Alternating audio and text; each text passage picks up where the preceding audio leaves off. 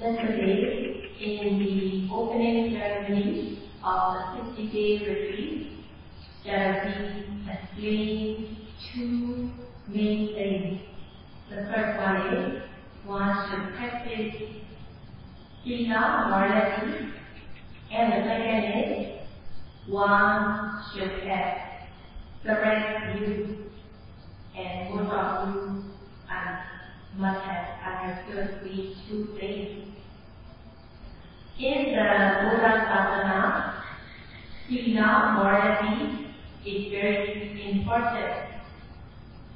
In order to practice Satipatthana meditation, in order to develop both the mind and the knowledge, it is very important to have sila morality. It is very important to have sila morality as the foundation. Without sila, without morality, without view, it is not possible to practice. Even if the person practices, but if he or she does not have enough morality or view, his or her will not be smooth. That's why it is very important to have morality as well the correct view and that we started explaining on these two things. And this we will continue to explain, explain from both theoretical and practical aspects. In the Sutta, the monk had a very good aim and objective, and it is very noteworthy as well as one should take example of the monk who had good aim and objective. In the Bhikkhu Sutta, the monk asked the Buddha to teach him briefly, concisely, so that he could understand. And he said, Eko, Upagato, Akamato, Akati, Satikato. He has said five things that he will fulfill. On what he said, it seems that he might have come upon the sensual pleasure as a lay person. So he seems to have experienced the sensual pleasure and he must have understood very well that sensual pleasure is not sufficient. And based on the words he used, it shows that he has good knowledge and he has a good aim and objective to gain true happiness. And we explain five types of happiness? The first one is Sukha, sensual happiness, sensual pleasure. The second is Nekkhamma Sukha, the happiness of renunciation. The third, Aviveka Sukha, happiness of inclusion. The fourth is Vipassana Sukha, the happiness gained through suppressing of the defilement. And number five, Sambodha Sukha, the happiness by gaining knowledge. Among these five kinds of happiness, the first one is Kama Sukha, sensual happiness. Usually, people who are in the sensual realm, where there is sensual craving, people are wanting good things to be seen.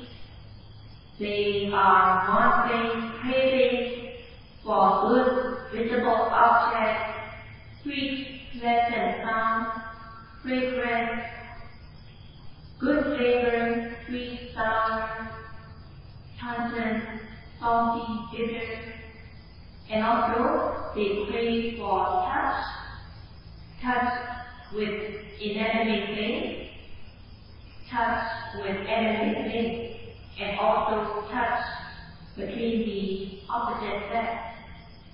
So people of sensual realm like these sensual objects and they are seeking for more and more sensual pleasure. They seek sensual pleasure and they tire themselves out by seeking for more and more sensual pleasure.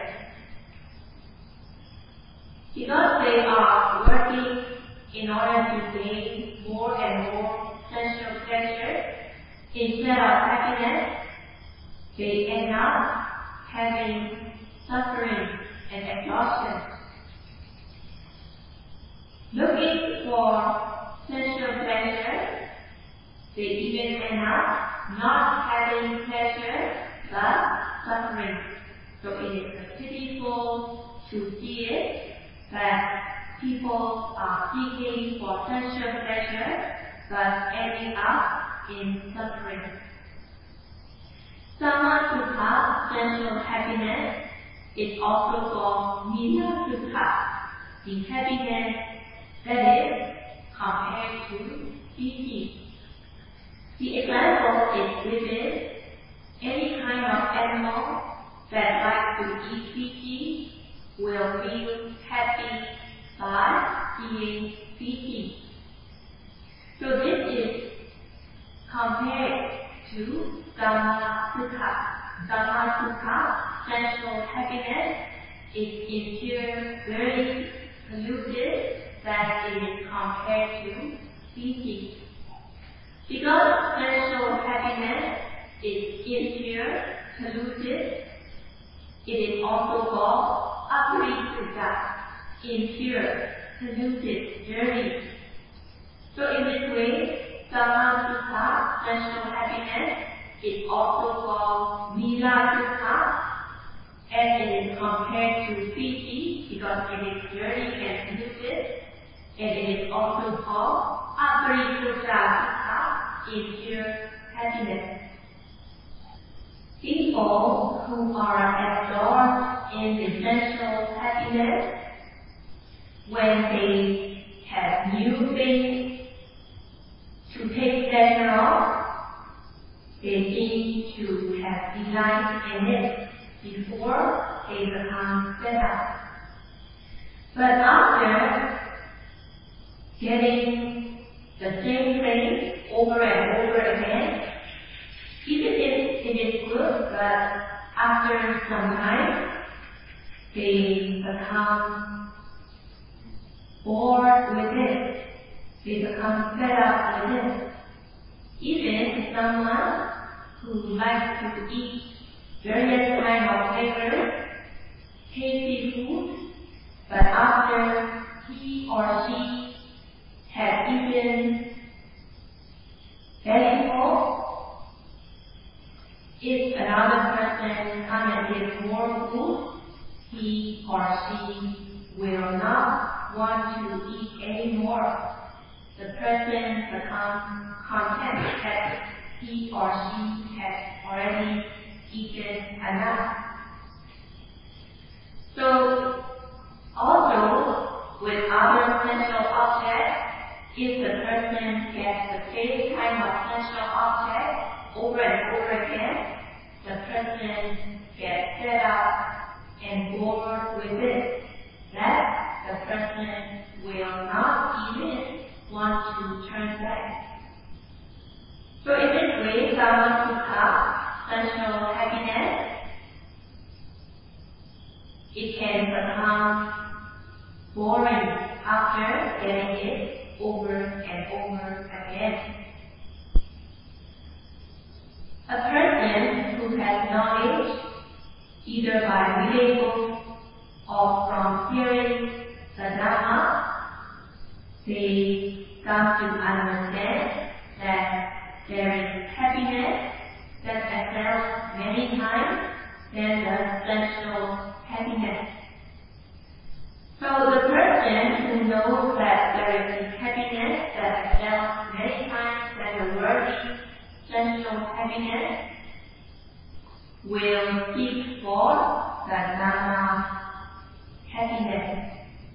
So the person leaves behind the sensual happiness in order to practice to come into the Dhamma field.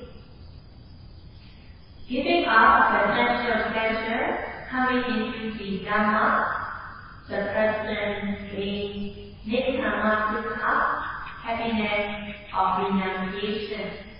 And people say, even by entering the meditation center, I feel so good, I feel so calm, even by entering the meditation center.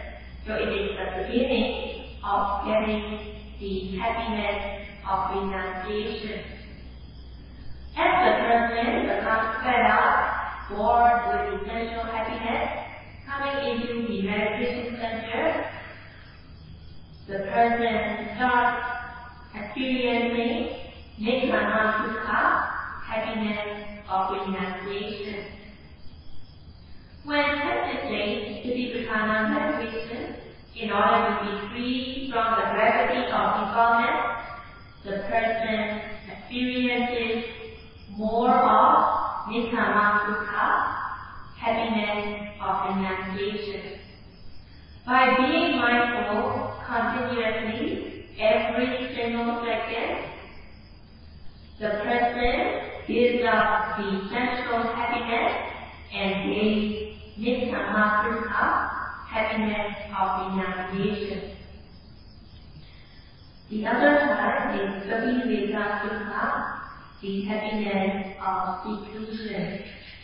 When the person is secluded away from companionship, there is happiness of seclusion.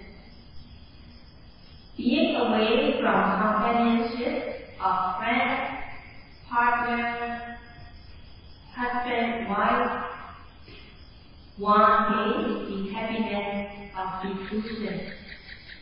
Even if one may be staying alone, but if the person enjoys fantasizing, daydreaming,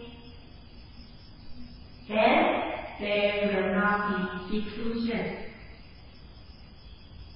There should be seclusion away from defilement. So in this way, inclusion means having inclusion away from the companionship, away from the companionship of present being, away from the companionship of kilesa defilement, away from the companionship of daydreaming or fantasizing. It is explained in Pali as Eko Upasasa, meaning staying alone in seclusion, staying alone in seclusion away from the companionship of present being as well as the defilement. Coming to the meditation center to practice, one should not have companionship one should not have companions in the practice. Not having companions in the practice, one does not need to have conversation with the companion. But even then, some of the persons, some of the people may still be talking in the mind, chatting in the mind, thinking it would be good to see this person, that person. In this way, it can be fantasizing, daydreaming, chatting in the mind. If the person is fantasizing, daydreaming, chatting in the mind, there will be companionship of default.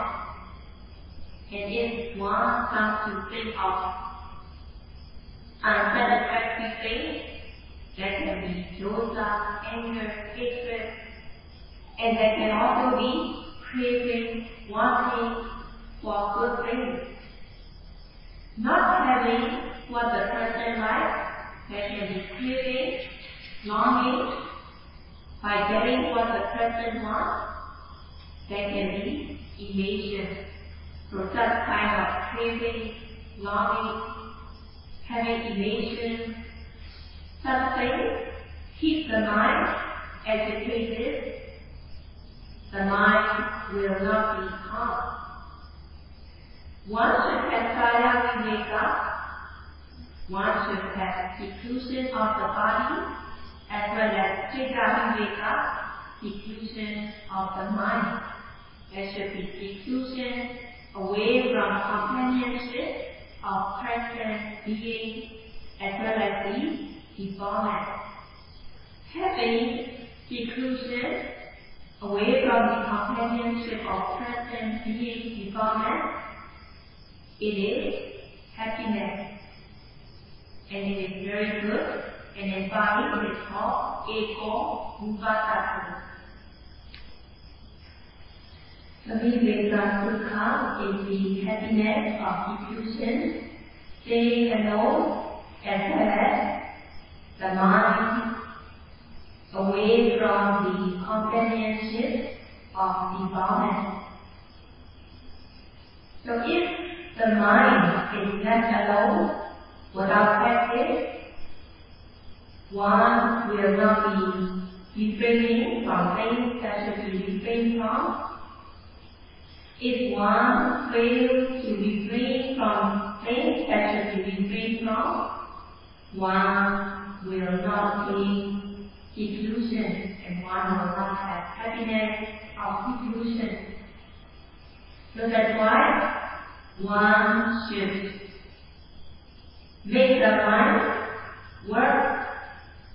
It is not the kind of work that concerns with sensual pleasure, but one should practice so that the mind will not turn into sensual pleasure. In order to be worthy of giving up the sensual pleasure, one should keep the mind controlled so that the mind will not go on to sensual pleasure. When the mind does not go on to sensual pleasure, there will be happiness. Appamata means the person who is not negligent. Appamata means non-negligent, not having sati, mindfulness. Usually, people lack mindfulness and they are spending much of their time with sensual pleasure. Most of the people lack control of their mind. They cannot control their mind. They cannot control their verbal actions. They cannot control their bodily actions. Without having protection with mindfulness, there will be defilement. If the mind does not have protection of mindfulness, then the mind will not be safe, the mind will not be secure. Lacking mindfulness, the mind is not safe or secure, and thus the mind will not be free from the defilement, and there will not be peacefulness. In order to keep the mind protected, one needs mindfulness. The person needs mindfulness every single second so that the mind will be guarded, protected. Without Satipatthana practice, the mind will not be guarded or protected. So one should practice Satipatthana in order to keep the mind guarded, protected, so that mindfulness will become stronger and stronger, hour after hour, day after day. Practicing diligently, continuously, every single the will become stronger and stronger, and one will gain happiness. The who does not lack the who constantly, continuously has mindfulness is called appamata. As a person, as a human being, one should avoid from wrongdoing. One should avoid the mental misconduct that can pollute the mind. If there are mental misconduct, the mind will be rude, gross, burning, suffering, and disgusting. It is important to refrain from wrongdoing by body, speech, and mind. So every human being has the responsibility to refrain from wrongdoing by body, speech, and mind. And one have more responsibility to refrain themselves from wrongful action by body, speech, and mind. One should not fail. One should not be negligent to refrain from things that should be refrained from. And one should not be negligent. One should not fail to perform wholesome deeds by body, speech, and mind. So one should not fail to do good things by body. One should not fail to think wholesome thoughts. One should not fail to talk wholesome speech. So in this way, one should not be negligent. One should not fail. One should be appamata. The person should have constant mindfulness. The person should practice Vipassana meditation so that he or she will be outstanding human. And in the practice of Vipassana meditation, one should practice respectfully, meticulously, thoroughly, without stopping, every single second. One should practice respectfully, meticulously, thoroughly, so that one will gain the benefit of practice. By practicing respectfully, meticulously, one will gain the happiness of seclusion away from companionship of present beings as well as the defilement, and it will be worthy of giving up essential happiness. By practicing, one realizes that the happiness gained through seclusion itself many times can be sensual happiness, and he or she will not be interested in the sensual pleasure, but the person will give more time for practice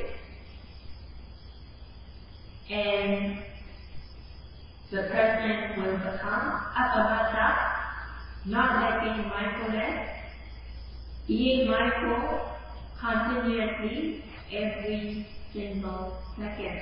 And in Bhikkhu Sutta, the monk promised that he will practice alone in seclusion, not lacking mindfulness. There are three kinds of qualities of appamata. Being appamata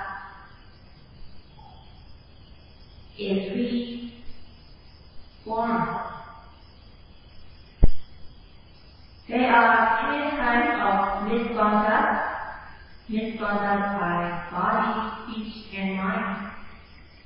Refraining from misconduct by body, speech, and mind, one becomes appamada. And there is medium form, being appamada, not letting one mind go on to sensual pleasure, having control of one mind, so that one mind will not go on to sensual pleasure. It is the medium form of appamada. There is the refined form of appamada. The refined form of appamada means being mindful every single second by being mindful of every arising object. Apart from the sleeping hours, whatever posture one may be in, walking, standing, sitting, lying, bending, stretching, opening and closing of the eyes, whatever posture one may be in, to be mindful of every arising object continuously without failing, without being negligent. It is the refined form of appamada. So in this way, there are three kinds of appamada, three levels of appamada. The lower level appamada, medium level appamada, higher level of appamada. The lower level of appamada, not being negligent to refrain from misconduct, and the medium level of appamada will be keeping one mind not going on to sensual pleasure, keeping the mind controlled is the medium level of appamada. The high level of appamada is to be mindful every single second. It is the highest level of appamada. Upasama meaning suppressing root, medium, refined form of defilement. Suppressing root, medium, and refined form of defilement, there will be upasama sukha. And by practicing Vipassana meditation, one will understand the happiness by suppressing the defilement, and it is upasama sukha. One should refrain from transgressing defilement, so that one will not be committing misconduct. One should not fail, one should not be negligent in refraining from transgression. Not failing, not being negligent from transgression, the person will be cheered by body and speech. And other people will not be harmed as the person be refrains from wrongful action by body and speech. And whenever one thinks about one good conduct, refraining from wrongful conduct, one will be happy. Being mindful, one will not have mental misconduct. There will not be wanting to kill. There will not be wanting to torture. There will not be wanting sexual misconduct. In this way, the mind is free from mental misconduct. The transgressive defilements are calm and suppressed. By developing knowledge, by gaining knowledge, the defilements are weakened and suppressed, and one will gain Vipassana Sukha. Through the practice of Vipassana meditation, by practicing respectfully, meticulously, thoroughly, yogi will experience Vipassana Sukha through the practice. In order to have Vipassana Sukha completely, there needs another factor, Atapi. The president must assert ardent effort. When practicing, one should have patience and one should be courageous. One should not be cowardly. One should not be afraid to catch illness or one should not be afraid of adoption. One should not be afraid of mental exhaustion. So when practicing, one should have the determination, strong determination that let I be left with silence, that I be left with marrow, that I be left with bone, I will practice. And even if I will die, I will practice. So it is very important in order to gain happiness that ourselves many times than the worldly sensual happiness. One should have courage in the practice. One should be willing to make sacrifices. One should be courageous. One should not be lenient to one's body. People who are lenient to one body, fearing of illness when practicing, will keep on changing posture, taking breath in between practice, fearing that they might become sick or weak through the practice. So such kind of thing shows that they are cowardly. So in the practice, the person should not be cowardly. One should have courage. One should have the courage to give up the sensual pleasure. One should have the courage to practice diligently with ardent effort. One should be atapi. One should have, one should be the person who has ardent effort.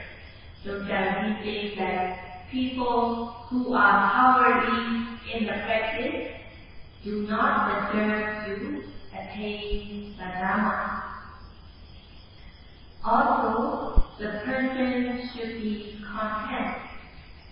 If the person is picky, choosing, suffering, then they will not have courage. So they should be content with whatever is available. One should be content with whatever knowledge is available. And especially, monks should be content with what is available to them. If a person is choosy, picky, I want this, I want that, and if they do not get what they want, then they cannot practice, so such kind of things should not happen. So one should be content with whatever is available. One should be content with the condition that is good enough for meditation practice. And one should be courageous. One should have the courage, courageous effort. By having courageous effort is one of the factors that is needed for the practice. So one should cultivate courage. So these factors are one should not be negligent, one should not fail, one should not lack mindfulness. Atapi, one should have ardent effort. Fulfilled with these pleasures, one will discern into Namarupa. Discerning into Namarupa, one develops knowledge and there will be body and sambuddha. One cultivates vipassana knowledge stage by stage, and when knowledge becomes mature, one realizes the cessation, nibbana. One should aim for nibbana. Pahitata means aim for the nibbana. Being endowed with these qualities, one should practice in order to attain Nibbana. So the monks who ask the Buddha to teach have these five qualities. Sorry, the monks who ask the Buddha to teach promise that he will fulfill these five qualities. So also, people are here, even if you do not meet up the standard of that monk, but you should be fulfilled with these qualities to a good extent, and the practice will come smooth. There will be vipassana happiness, suppressing the deformment, sambodha the happiness gained by developing knowledge and there will be more happiness. At the stage of gaining vipassana jnana, the mind will be free, developing knowledge, and one will gain unique kind of happiness that is um, unreversible. It will be ever new. The kind of sensual happiness one has to change from one to another so that it will be new and unique. But the kind of Dhamma happiness is very unique that it is always new and new. So taking the example of the monk the to teach the yogis who have the opportunity of practicing in this 60 day special retreat, may you be able to practice diligently with art and effort so that you can realize the Nibbana. And this will be all for.